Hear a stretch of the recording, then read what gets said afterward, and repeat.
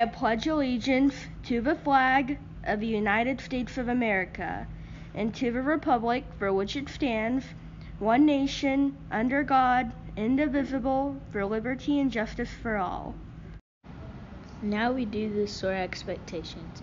S for safety, O for ownership, A for act responsibly, and R for respect everyone. everyone.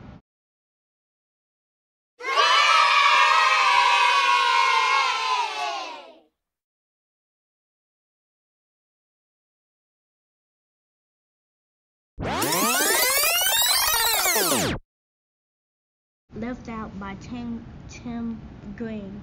A 12-year-old Landon has always dealt with bullies. Even Landon admits that he's hearing that implants make him look like a Wookiee from Star Wars. His family moves means a new start, and London hopes that he can avoid bullying by playing football. But the teasing is the worst thing ever at his new school. Mentoring from a ex-NFL player helps him with his technique.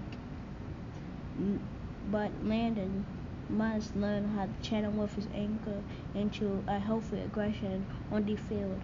Doing so might help him achieve his goal of becoming the team's starting right tackle instead of feeling left out.